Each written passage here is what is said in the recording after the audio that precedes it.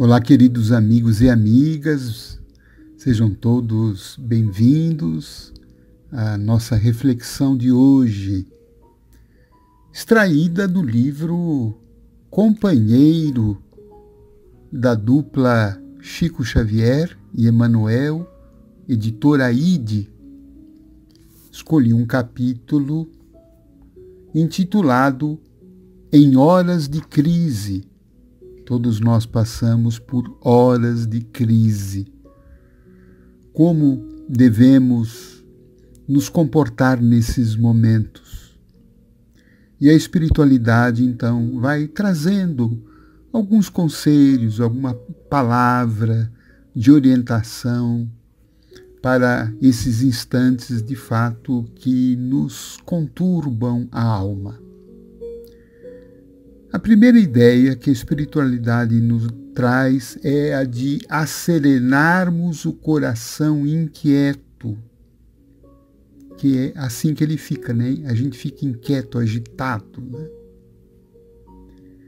Pede serenidade, serenidade que talvez ela venha é, da nossa ligação com Deus, da nossa confiança no Pai, de que tudo aquilo que nós estamos passando amanhã trará para nós benefícios, trará para nós soluções melhores, caminhos melhores, aperfeiçoamento espiritual, já que Deus é um Pai de amor, que não pune, não castiga, e que permite, por vezes, que tempestades nos visitem para que, nesse movimento que o problema traz, ele mexa com algumas estruturas nossas que precisam de renovação, de aperfeiçoamento, de um outro olhar, de uma outra visão. Então, esta serenidade ela advém de que Deus sempre está fazendo melhor, de que a vida sempre está trabalhando pelo melhor da gente, ainda que a gente não veja num primeiro momento este melhor.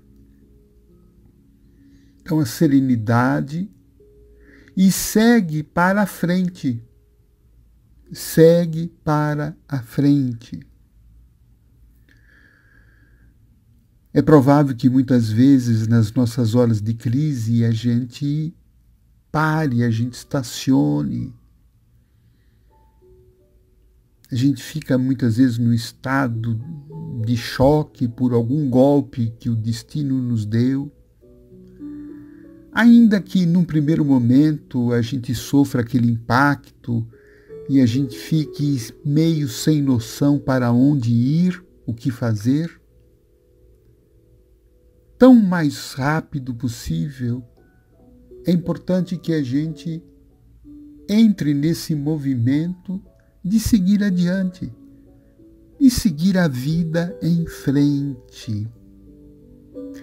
Porque é somente no caminho, somente caminhando, que nós encontraremos algumas soluções, para as nossas dificuldades.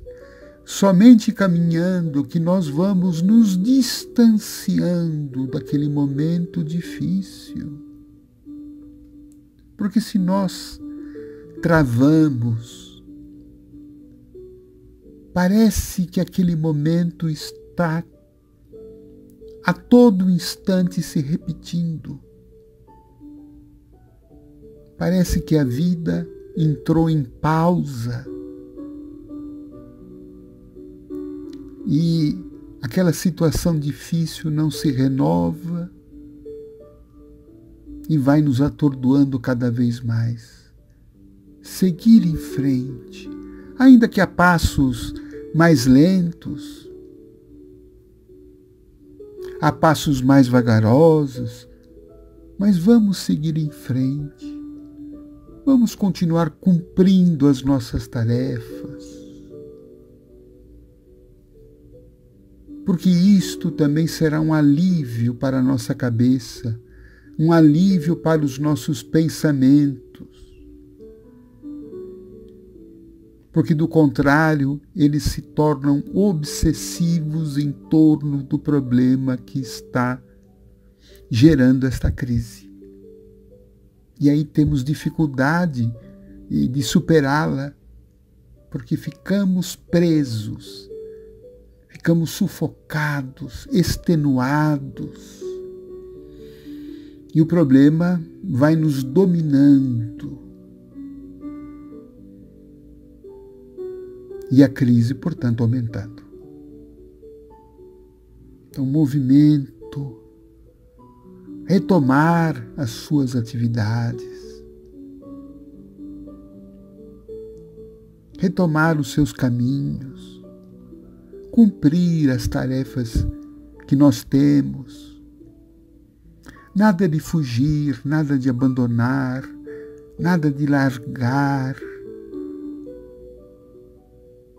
as nossas obrigações, porque isso vai complicar ainda as nossas horas de crise.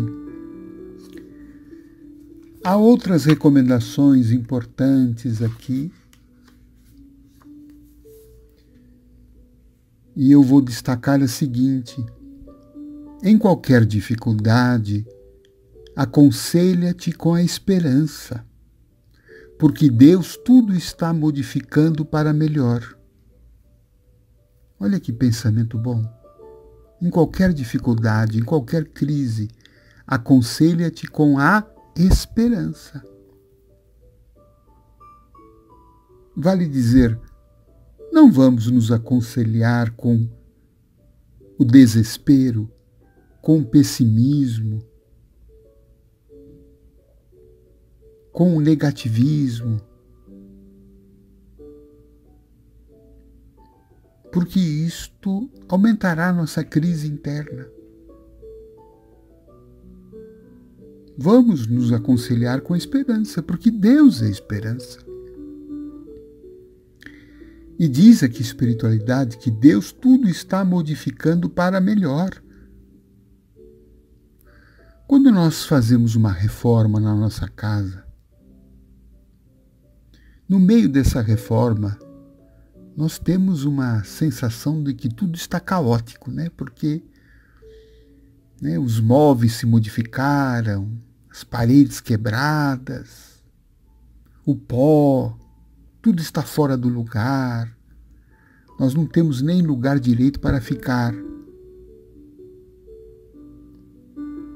mas estamos conscientes de que esta reforma é necessária para deixar a casa melhor. Quando a reforma terminar,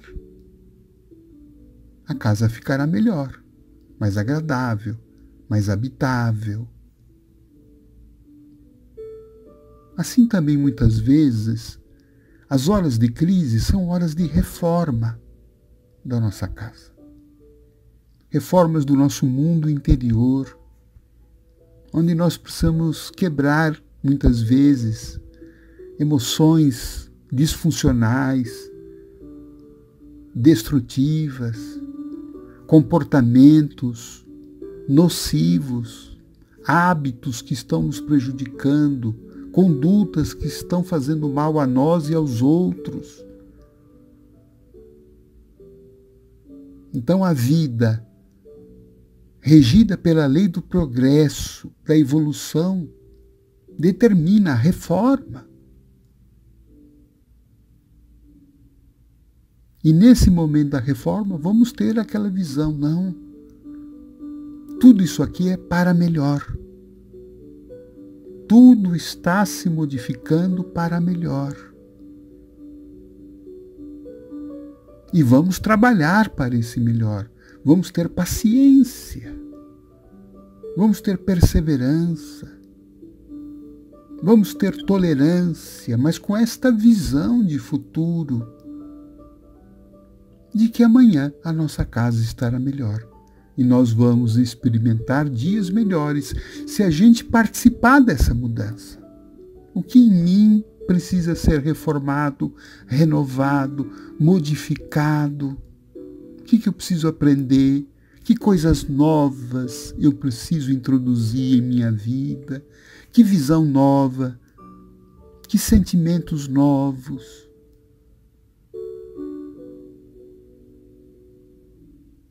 Isto, então, é um trabalho da renovação que a crise veio trazer.